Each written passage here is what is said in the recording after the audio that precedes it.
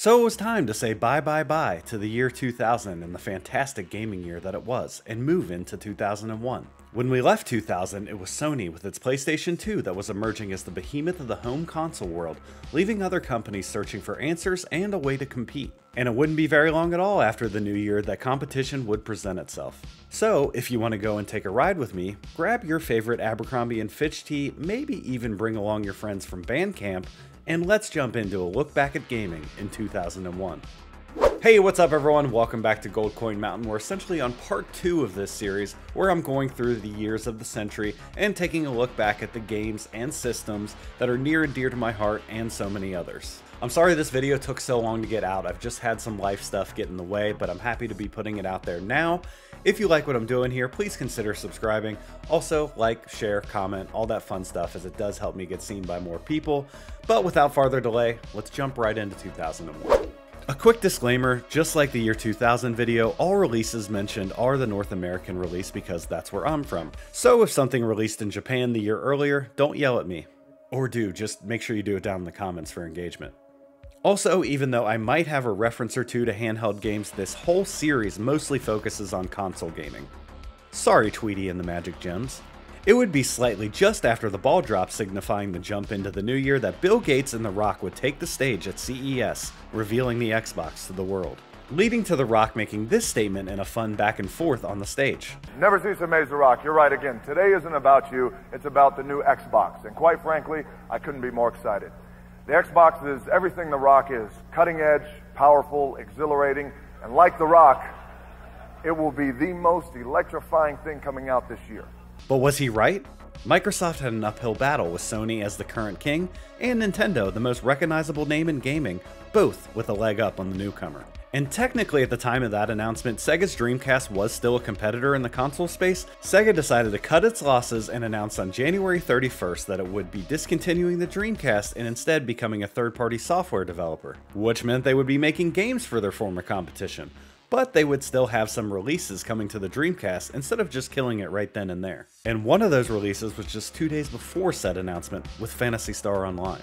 It was an RPG developed by Sonic Team that was the first online RPG for consoles. Players created a character and assumed the role of adventurers, which could gather, buy and sell items, explore open areas, and fight enemies cooperatively with other players over the internet. At the time, it was pretty much unheard of for non-PC players and was reviewed exceptionally well, even being called one of the most important games in console gaming evolution by VentureBeat. The following week would be Nintendo releasing an offline RPG on the N64, proving that they weren't quite ready to just coast until their next console when they released Paper Mario. The game was originally being developed as Super Mario RPG 2, but when Square and Nintendo had a falling out, the game was handed over to Intelligent Systems. It incorporated a lot of well-known Mario mechanics with classic RPG turn-based combat, using Mario's signature jump on the head or the new giant wooden hammer to decimate his foes. Critics and players alike applauded the visuals, the world to explore, the humor, and the puzzles. And I would love to confirm those things for you. However, come closer. I've never played it. But leaving it off a list about gaming in 2001 was not something I was prepared to do. Maybe someday I'll make a dent in my backlog from hell and I'll experience it firsthand. Exactly a month later, on March 5th, Nintendo and Rare would release Conker's Bad Fur Day on the N64, throwing a curveball into the perspective that Nintendo was only for kids. Conker is a squirrel who gets shit-faced at a bar one night, pisses off his girlfriend, and passes out. I mean, we've all been there. When he wakes up, he starts his adventures through levels of characters getting torn apart, blood spray, sex references, hilarious and vulgar name calling, and all kinds of other things that made it hilarious for a mid-teen to play back in those days. I remember thinking that no one would probably make a game like this ever again, and boy was I in for a surprise later this year. Later on in the month of March, the top song in the country at the time was Survivor by Destiny's Child, and it was clear Sega and the Dreamcast were the exact opposite of what Beyonce was singing about. As Sega would officially stop production of the Dreamcast as they announced earlier, ending only a year and a half run on the market. The good news for gamers was that in order to sell off inventory, the price was cut to $99. Eventually it would fall to 79 and then to 49, but it would end its run selling only 9 million units in its short lifespan. Even though the N64 was supposed to be slowing down, on April 8th, Dr. Mario 64 was released for the console. A Tetris-like game that featured falling capsules instead of blocks, you had to match up at least four colors in order to get them to be removed from the screen. And then, a month later, on May 7th, the third entry into the Mario Party series debuted. These games would turn out to be the last Nintendo developed games on the system, and signaled the end of an era for the company's first 3D console. The rest of the month of May was light on releases across all platforms, but at the box office, this all time classic was shown off to the world, setting a new bar for animation and voice acting. Oh, this is gonna be fun. We can stay up late, swapping manly stories, and in the morning, I'm making waffles. By mid June, it became the top grossing movie of 2001, an accomplishment that would be surpassed later in the year, but was without a doubt a huge alternative option to what seemed like a drought in game releases. And speaking of droughts in mid June, the PS2, which seemingly had releases very few and far between for the first half of the year, would bring out the fantastic Twisted Metal Black on June 18th. The tone would be set right from the dark opening video where Paint It Black by the Rolling Stones blared from the speakers, which I won't play here because I don't want a copyright strike or Mick Jagger to sleep with my wife. This game was fantastic and would come to define nights with me and my friends back then. And as I mentioned, the darker tone in this entry was the main change from the first two games on PS1. The story mode features different characters all with their own dark backstory, like Mr. Grimm, who's a veteran of Vietnam and was forced to eat his dead friend to survive, and now wears that friend's skull as a helmet. Well, that's kind of up. Or how about the kid who can control his dead dad with a gaming controller. Super weird and super dark, but learning about the crazy backstories of all these characters was quite engaging. And then, of course, there's a multiplayer full of vehicle destruction, explosions, fun weapons, and all the crazy looking rides that a teenager that was soon to get his license could want. It couldn't have been more perfect that this game was released in June when we were all on summer break, and after getting a case of the newly released Code Red Mountain Dew, we could stay up for hours enjoying the destruction in this game, yelling at each other in a small room, and accusing everyone of cheating. That may not sound like a great time, but just ask your kids who are doing the exact same thing on Fortnite right now. But anyway, it's a memory that will always stick with me, and it's always fun to think back on. Remember when I said just because the Dreamcast wasn't in production anymore didn't mean that they were done with games? Well, just the following day, on June 19th, Sonic Adventure 2 would hit store shelves. It would later come to the GameCube and was generally favorable among Sonic fans, with most considering it an adequate follow up to Sonic's first dip into 3D gaming. The next couple months would be slow for releases, and when I say that, I'm sure someone watching enjoys one or more of these games, but for me, it wouldn't be until late August when Madden 2002 would come out that I had another game that I could sink hours into. I know I covered Madden in the 2000 video, so I'll just say here that it was a nice improvement from the prior year. Going forward, who could forget Portal Runner, Arctic Thunder, and Bash Strike all on the PS2? I'll tell you who, apparently everyone, as none of those games even threatened to get out of the 50s on Metacritic. At least Silent Hill 2 was there for people, if you were into survival horror. But just a month after that, it was time to lose myself in a game for hours upon hours. In fact, I wish consoles kept track of gameplay time back then because mine would have been insane. Yes, it was time to steal cars, pick up hookers, and beat the piss out of pedestrians in GTA 3. After the first two games in the series on the PS1 were of the top down perspective, the third entry went to a third person view, released on October 22nd, and I think it's fair to say that it revolutionized the open world sandbox genre. Its open world could be navigated on foot or in a vehicle, but let's be real here, it was too fun to yank drivers out of their car and ride off with it, so no one was going on foot. The story of the game centers around Claude, a small time criminal at the beginning, who was shot by his girlfriend during a robbery.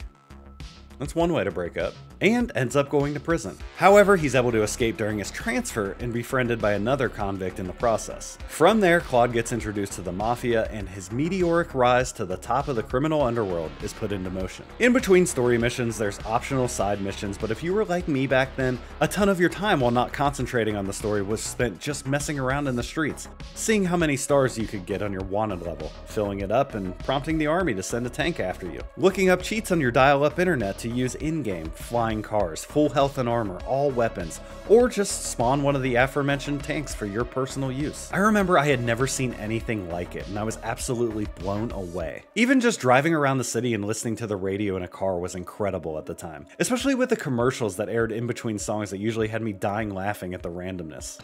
Would you like a giraffe? Delivered. Just log on to petsovernight.com and we'll send you a giraffe overnight. What's also funny is thinking back now, I'm almost positive I only ever rented this from Blockbuster or borrowed it from a friend because there isn't a chance in hell my mom would have been okay with me playing it. But that's why you close and lock your door so they don't know what you're playing in there. Also, good advice for other things you could be doing in there. For me, this game is so important to my life in gaming because it just really blew me away that a game could have this much detail and stuff to do in it. In a way, it showed me what the future of games could be and how a world could be created and alive. And it's something I'll never forget and always point to as a huge gaming moment for me personally, and I'm thankful I got to experience it.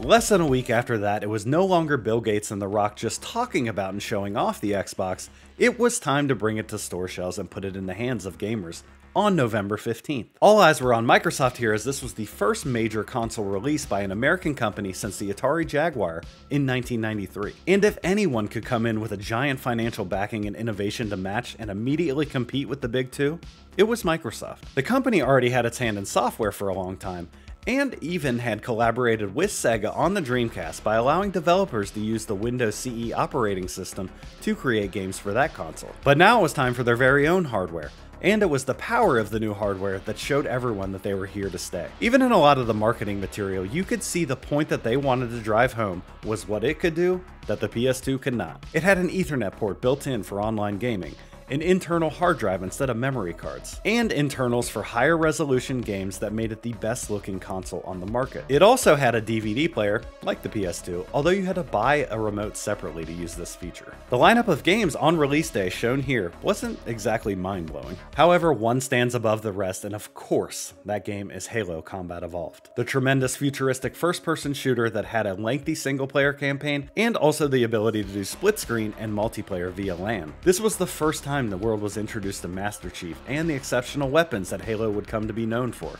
It would tie GTA 3 and Tony Hawk's Pro Skater 3 for the highest rated game on Metacritic for the year. No easy feat for a year that was seemingly throwing out bangers left and right. The game hit the 1 million mark in sales 5 months after release and had an attach rate of over 50% to all Xbox consoles sold. It remains a fan favorite today and deserves credit for what it did for the FPS genre. As for the Xbox itself, it would sell 1 million units in its first 3 weeks and would hit 1.5 million by the end of the year. A very successful launch, and now we knew to take Microsoft seriously in the console gaming market. And it was literally just three days later that another mainstay in the console gaming market was ready to bring their future console to North America. And I thought instead of me, there is no one else better to tell you about that than my friend Marcello over at GameCube Galaxy. So without further delay, let me send it over to my special guest. Hey everyone, Marcello here from GameCube Galaxy, and my good buddy Matt over at Gold Coin Mountain reached out to me asking if I could discuss some aspects about a particular console that released in November of 2001 here in North America, that being the Nintendo GameCube. The Nintendo GameCube was a console that I was extremely excited about, coming from the N64, which I absolutely loved. Seeing what the GameCube had coming out at launch and seeing its graphical prowess for me was second to none. And when you look at the GameCube, the GameCube was the underdog of the 6th gen. The PlayStation 2 had already been out for one year and had cemented its place in the 6th gen, and Microsoft was just days apart from basically releasing their console, the Xbox. However, Nintendo's console for me was one that I hold near and dear to me because it was honestly the first home console that I received that was actually mine that I got on Christmas of 2001. And while the console had 21 launch day titles, as well as various other titles that released within a few week period between then and holiday season, there were five games I got on Christmas of 01 that stood out for me with my console, which were Luigi's Mansion, NHL Hitz 2002, Star Wars Rogue Squadron 2 Rogue Leader, Wave Race Blue Storm, and, of course, the number one selling game on the GameCube, Super Smash Bros. Melee. Now, this was a Christmas I will never forget because it was the Christmas where I basically spent the entire break exploring this extremely exciting console for Nintendo. And looking back at this particular holiday season, this particular year that really changed the course of Nintendo, the GameCube for me just stood out as a console that was just visually stunning. It was light years ahead of what the PS2 could do realistically when you look at games like Resident Evil Remake and Star Wars Rogue Leader. And what really stood out for me about the GameCube was that its launch for me is second to none. There was no other console for me that had launch titles as varied and as well put together to showcase the console's prowess than the GameCube. When you look at something like Star Wars Rogue Leader, which was a day one launch title in North America, and over 20 years later, that game still looks absolutely phenomenal. as well as something like Luigi's Mansion, which was light years ahead of what the N64 could do, that was at a time when console gaming was at its most exciting. That was at a time when console gaming truly showed what a next gen leap could look visually versus nowadays consoles that are just kind of half steps up. And when you look at the GameCube, yes, I know a lot of people say it was a failure back in the 6th gen, and in many ways it was in terms of sales. In terms of exclusives, though, the GameCube absolutely had bangers for the console. Games like the ones I mentioned, as well as Resident Evil Remake and Resident Evil 4, which was exclusive at least for a few months before it got the sloppy PS2 port, as well as games like F Zero GX, 1080 Avalanche, Super Mario Sunshine, Custom Robo, Wario World, Eternal Darkness, games like this that were just absolutely awesome experiences. And what I like to look back at upon the GameCube for Nintendo, especially as a company, was it was the first time they ever published an M-rated game, being Eternal Darkness, and then years later, their second published M-rated game being Geist. And honestly, seeing Nintendo publish M-rated games on their own was kind of a big deal. And sure, nowadays with the Switch, they've published games like Bayonetta, which are M-rated games, but again, if you look back at the gaming climate back in 2001 to 2007, it was kind of a big deal to see Nintendo take that leap forward. They were trying to grow with their audience that came from the N64, that came from the SNES, and tried to make these more teen-like slash mature-like experiences to win over that market. Unfortunately, without any DVD player attached to the console, it was kind of a less enticing proposition for consumers to put the money down on the GameCube, despite the fact that its price point was very attractive. That being said, the GameCube for me is a console that always stood the test of time. I will say, while the GameCube never reached the heights of what it should have, it did garner far more popularity within the last five years.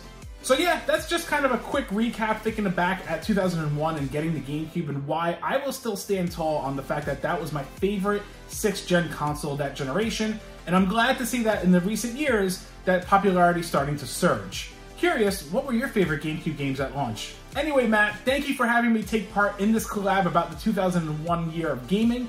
Now, back to you. Thank you so much to Marcello for joining me and adding some of his thoughts on the GameCube and some of its games. If you haven't already, make sure you subscribe to his channel as he puts out fantastic content every time he uploads. The rest of the year would see some releases, but nothing like we saw and covered earlier leading up to this point. Naughty Dog would bring out its fantastic new IP with Jak and Daxter, as the company was well on its way to becoming one of Sony's powerhouse developers with its 3D platformer. And it also wasn't too far down the road that we'd start to recognize them as gaming storytelling royalty. That's called foreshadowing. So, as we start to close the book on the fantastic year that was gaming in 2001, we would turn our attention to 2002. And if you think the fire releases were about to stop, just know that it was still very hot in here. And there are some incredible experiences and memories that need to be talked about.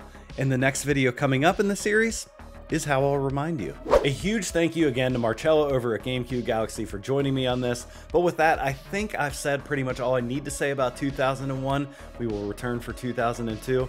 Other than that, thank you so much for watching, and I'll see you next time.